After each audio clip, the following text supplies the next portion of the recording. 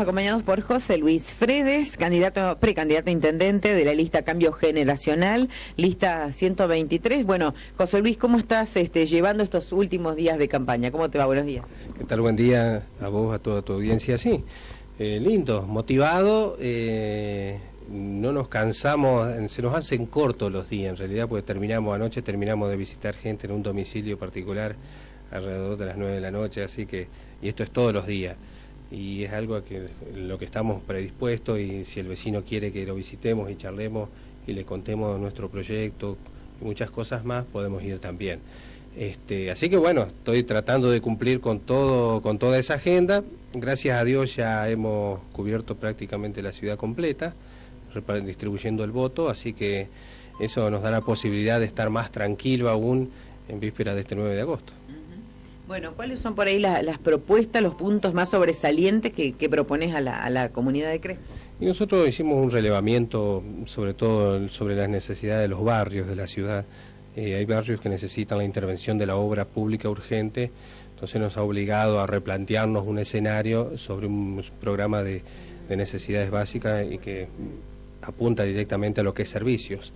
Este, por otro lado, bueno, tenemos la creación de la Dirección de Salud Pública, una, Dirección de Salud Pública municipal eh, abocada al saneamiento de nuestro hospital local, eh, abocado a cubrir necesidades sanitarias que, que, hoy por hoy no están siendo atendidas y viene toda una cuestión de reorganización interna eh, respecto de eso.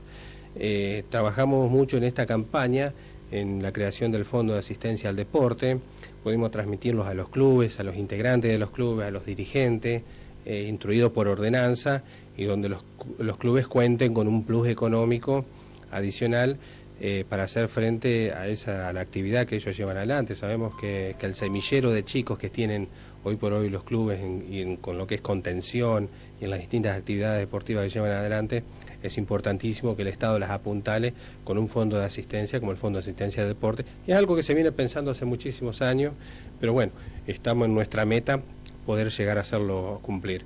Así que bueno, trabajamos también con la creación del Fondo de Asistencia a la Cultura, para organismos con personería jurídica, sabemos que hay grupos que están trabajando en el tema cultural muy fuerte y que necesitan un fondo solvente del Estado al momento de planificar todas las salidas y las actividades fuera de la ciudad, así que vamos a estar cumpliendo con ellos también. Eh, tenemos un trabajo muy importantísimo con, el grupo de jóvenes, eh, estamos trabajando la creación de un observatorio de problemática joven, que es un, coordinado desde las áreas de juventud y en trabajo continuo con los centros de estudiantes para asistir el crecimiento y por supuesto la oferta educativa de los chicos al momento de terminar el espacio de la secundaria. Así que queremos revalorizar y poner en funcionamiento por ahí también viejas prácticas a través de las residencias estudiantiles. Sabemos que hoy es un costo que muchas familias no pueden absorber.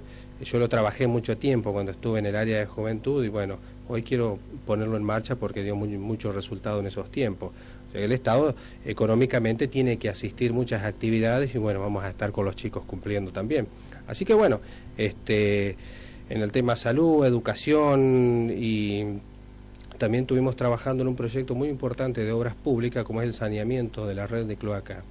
A través del programa Argentina Trabaja, eh, nosotros vamos a estar en condiciones de hacer una inversión de 20 millones de pesos para empezar a hacer el saneamiento de la, de red cloacal que cubre la ciudad completa. Así que bueno, va a venir también de obras muy muy importantes como es en eh, plantas de, estaciones elevadoras, de frentes cloacales, entubados de de algunos desagües a cielo abierto que tiene nuestra ciudad, eh, mejoramiento de calles, tenemos el proyecto de ordenanza de, eh, que modifica la, ley, municipal en consorcio de vecinos para que la obra de asfalto y cordón cuneta sea por obra municipal directa y que el vecino después se adapte a, a su manera como pueda pagarlo, pero que el Estado la haga sí o sí. O sea que eso nos va a permitir encontrarnos con 20, 40, 30 cuadras de asfalto de la noche a la mañana y que después el vecino pueda pagarlo como pueda. Sabemos que es una contribución por mejora, que eleva el, el, precio de tu propiedad, entonces eso le va a venir muy bien a la gente. Y sobre todo le va a venir bien encontrar con el Estado un plan de pago que le sea eh, fácil de, llevar a cabo y de, abordar el día de mañana. Así que bueno, trabajamos mucho en eso, trabajamos en algo importantísimo que es un programa con 300 soluciones habitacionales, Sabemos que el problema habitacional de Crespo es tremendo, jóvenes parejas que no tienen terreno, que no tienen acceso a la vivienda, y nosotros vamos a trabajar fuertemente para que el programa Techo Digno, que es un programa que viene de la Dirección de, Infraestructura de la Nación, este, así que bueno, que hoy cartera que hoy por hoy ocupa Julio Debido, y nosotros ya tuvimos algunas líneas de mando para trabajar con ellos y vamos a poder hacerle frente a esas 300 soluciones habitacionales con terrenos fiscales del municipio. Van a volver las casas del IAPB, eso se lo puedo asegurar. Así que bueno, trabajamos en ese proyecto fuertemente y nos reinventamos para trabajar muchísimo más en un montón de cuestiones que hoy por hoy no están siendo abordadas. Tenemos un programa también que está dentro de la Argentina Trabaja, que viene con la creación de cooperativas de trabajo, eh, la ampliación de salas de jardín de cuatro años. Sabemos que hoy ya es ley y el Estado tiene que eh, hacer frente a esa infraestructura y aportar un par de salas en cada, en cada escuela para llegar a cubrir. Sabemos que cuando llegan eh, esos tiempos de, inscribir los chicos en las escuelas no se encuentra espacio, no hay lugar, eh, tenés que anotarte un año antes, es muy engorroso para las familias y bueno, es muy difícil también para los chicos que están con ganas de arrancar ese jardín de cuatro años. Así que bueno, nosotros del Estado tenemos un proyectito para cubrir esas necesidades básicas. Así que bueno, eh, muchísimo trabajo desde una conformación del Estado, pero también mucha responsabilidad en, la palabra empeñada. El vecino en esta caminata nos ha aportado sus necesidades barriales, eh, hay gente que no tiene presión de agua, hay gente que no tiene cloaca, hay gente que tiene excusados en pleno radio urbano, hay gente que tiene problemas de luz, que no hay luz, y eso a nivel de lo que es seguridad, a nosotros nos ha obligado a reinventar. Nosotros tenemos un proyecto para la creación de la Oficina de Seguridad Ciudadana que viene con el trabajo de defensa civil. Eso es importantísimo, eh, es un organismo que vamos a crear desde el Estado municipal y viene plegado de todo lo que es una sala de monitoreo de, controladas del Estado municipal, donde estén todas las cámaras de seguridad, donde esté la parte de los accesos controlados, sabemos que Crespo tiene muchos accesos y eso en, el rubro delincuencia eh, hay que tenerlo presente. Tenemos un trabajo muy importante para realizar con la policía local y el Estado tiene que estar eh, trabajando fuertemente.